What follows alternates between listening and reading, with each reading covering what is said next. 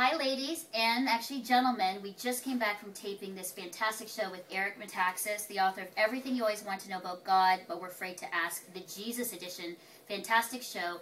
But, Eric, why don't you just tease a little bit about the book and why they need to tune in? Can I say about when we raised that man from the dead on the air? Or is that going to be? Can I, men- can I mention that, or is that a surprise? No, it's a surprise. Is that a big surprise? All right, so we're not going to talk about that, but it's it happens, folks. So tune in. But, but let me just say, uh, let me just say that uh, we're talking about this book, everything I always want to know about God, we're afraid to ask, and basically what it is.